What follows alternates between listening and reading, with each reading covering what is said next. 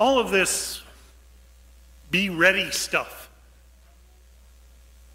that we heard in the gospel and that we hear many times throughout the gospels.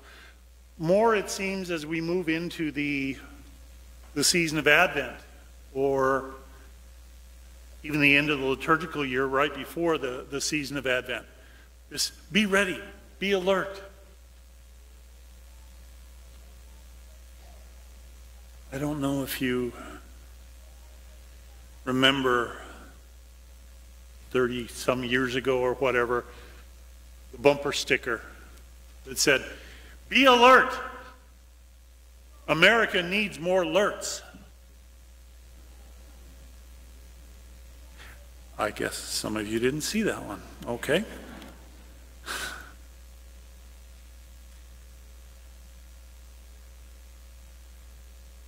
Provide money bags for yourselves that do not wear out inexhaustible treasure in heaven.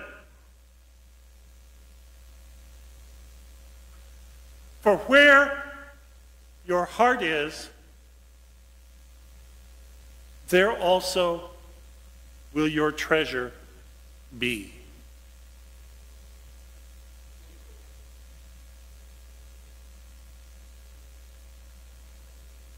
People come to confession and many of them will bring along an act of contrition. Excuse me, not an act of, an examination of conscience. I always get those church things mixed up. No. an examination of conscience. A list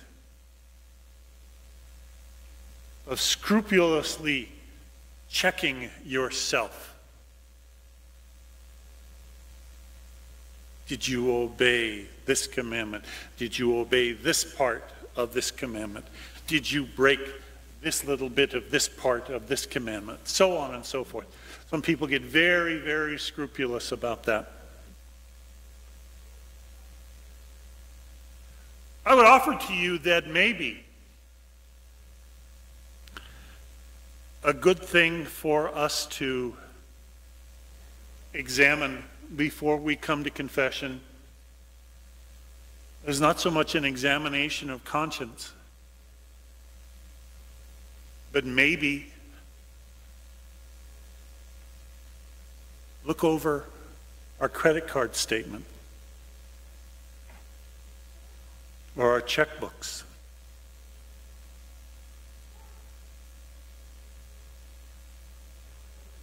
Where your heart for where your treasure is, there will your heart be.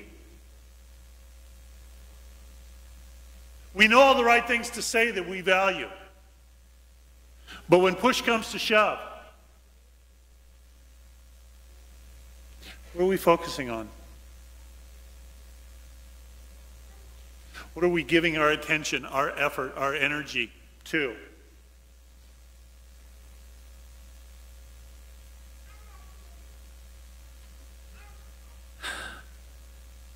That last sentence in the gospel. If that's not challenging, if that's not in some ways scary for us as a society, a church, even a nation, it should be. Much will be required of those entrusted with much. And still more will be demanded of, the, of those entrusted with more. We talk about the great blessings.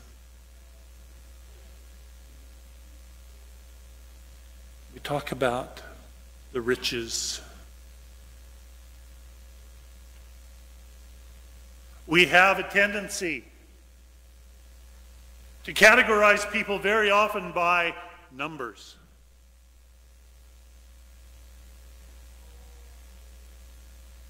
If your number is this big, in terms of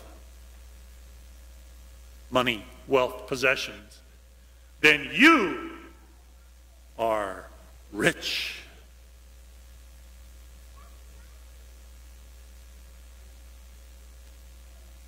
And if somehow, maybe through beating the incredible low odds and winning a lottery, you get a lot of money. All of a sudden, you become rich in the eyes of so many.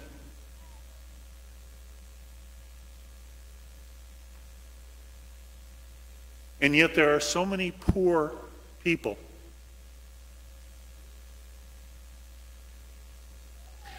And a lot of these poor people are people who have a lot of money. But they're still poor. Where your treasure is, there will your heart be. This Wednesday, we celebrate the feast of St. Lawrence the Martyr, and I was doing just a little bit of, of research on Lawrence, and this author was talking about some of the legends that have accompanied Lawrence for, for centuries. He said, when Lawrence was challenged to hand over the church's treasure to the authorities, he asked for a few days' grace.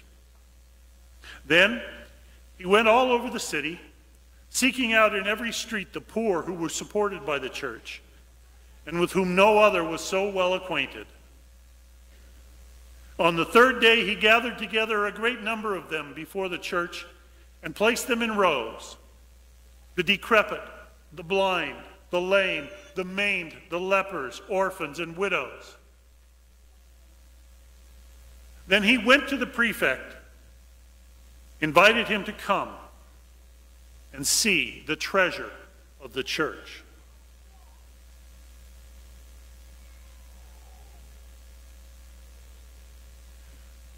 Riches in the kingdom have very little to do with things.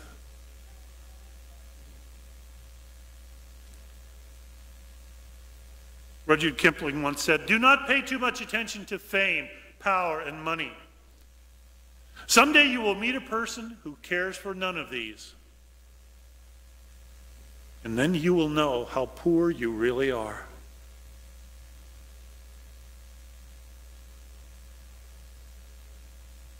Is wealth bad? No.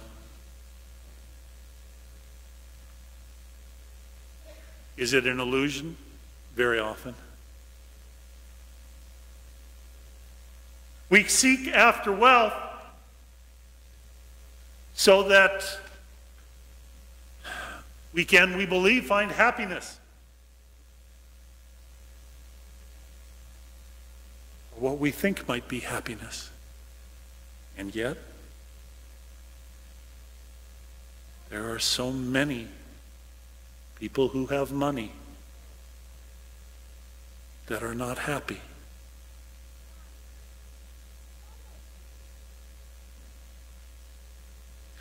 There are many who have nothing. And yet, they seem to be the most joyful, the most alive people ever. That's what Jesus invites us to, getting away from maybe a lot of what we've learned. You have to succeed. You have to get ahead.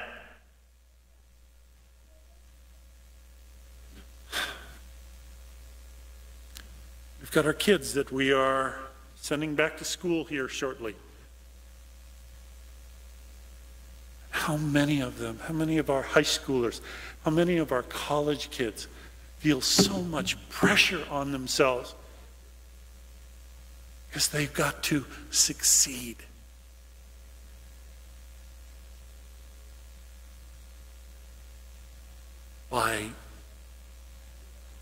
some financial definition of what success is.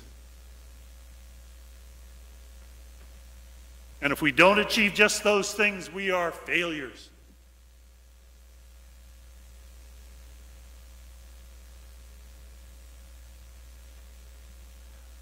Remember something, especially you young people, especially as you head off to college or to high school, or some of you even to kindergarten this year. You got pressure on you too.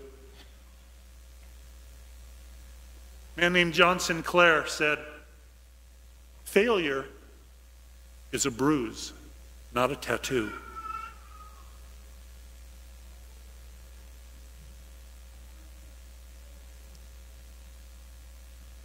Well, what if I fail? You will. The answer to the what if question is you will. A better question might be after I fail, then what? Well, if you've chosen well, you will be one step closer to succeeding. You will be wiser and stronger. And you almost certainly will be more respected by all of those who are afraid to try.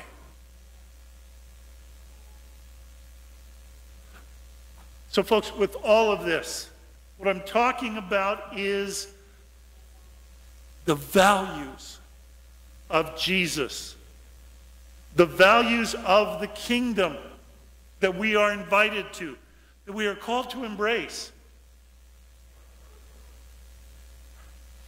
as opposed to the other stuff.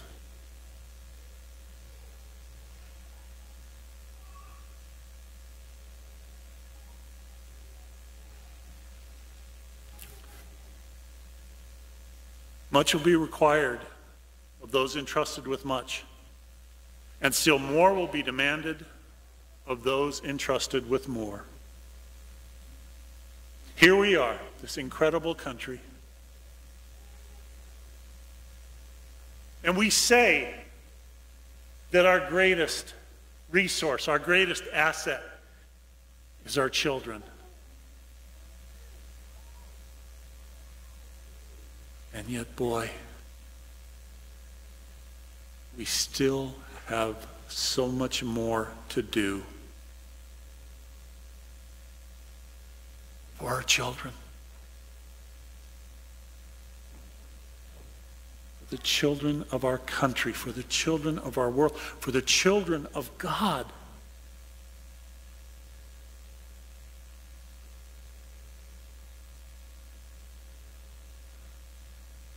It can't just be a matter of, I'll take care of my kids, everybody else, good luck to you.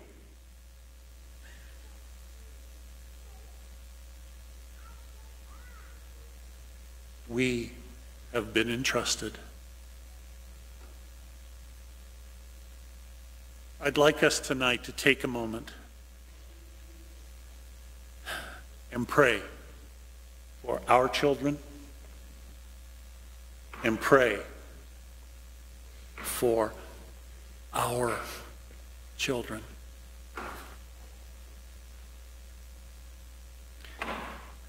We pray for children who sneak popsicles before supper, who erase holes in math workbooks, and who can never find their shoes. And we pray for those who have never run down the street in a new pair of sneakers who are born in places where we wouldn't be caught dead, who never go to the circus, who live in an uncaring or violent world. We pray for children who give sticky kisses and fistfuls of dandelions, who hug their moms in a hurry and forget their lunch money. And we pray for those children who never get dessert, who have no safe blanket to drag behind them who watch their parents watch them die, who don't have any rooms to clean up, whose pictures aren't on anybody's dresser, or whose monsters are real. We pray for children who spend all their allowance before Tuesday, who throw tantrums in the grocery store and pick at their food, who like ghost stories, who shove dirty clothes under the bed and never rinse out the tub who get visits from the tooth fairy, who don't like to be kissed in front of their friends, who squirm in church and scream in the phone, whose tears adults sometimes laugh at, and whose smiles can make adults cry. And we pray for those whose nightmares come in the daytime, who will eat anything, who have never seen a dentist, who aren't spoiled by anybody, who go to bed hungry and cry themselves to sleep, We pray for children who want to be carried, and for those who need to be carried, for those who have plenty of opportunities, and for those who don't get a second chance, and for those who get plenty of attention and affection. and for those who will grab the hand of anybody kind enough to offer it.